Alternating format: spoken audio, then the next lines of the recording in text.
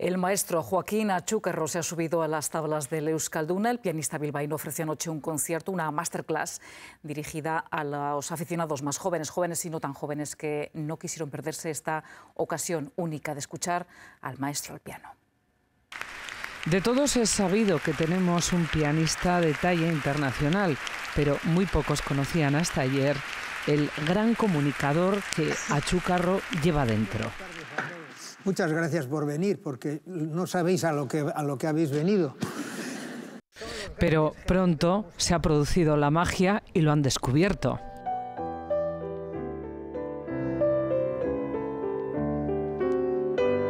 Parece, porque hay testigos presenciales, que Granados estaba en un bote salvavidas y se tiró al agua casi sin saber nadar para intentar salvar a su mujer.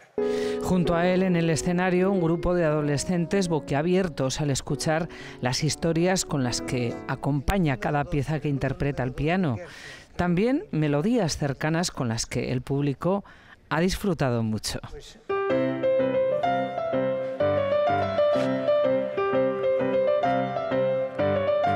Yo creo que el himno de la Atletia lo conocían, ¿no? Niñas, niños, adolescentes, muchos acompañados eh, de sus padres. Y es que también para los mayores, ¿cómo perder una ocasión como esta? Fantástico, ha sido impresionante ver al maestro tocar el piano. Me ha parecido un concierto muy bonito para acercarle la música clásica a la gente joven. Pues no, muy contentos, la verdad, muy contentos.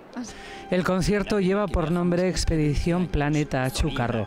Y es que en 2012 la Unión Astroquímica Internacional homenajeó la trayectoria universal del artista llamando Joaquín Achucarro a un mini planeta, un planeta tan pequeño como el que habitó el Principito, aunque ayer mostró el halo infinito de un corazón grande y sin fronteras que a través de sus manos acompaña el piano.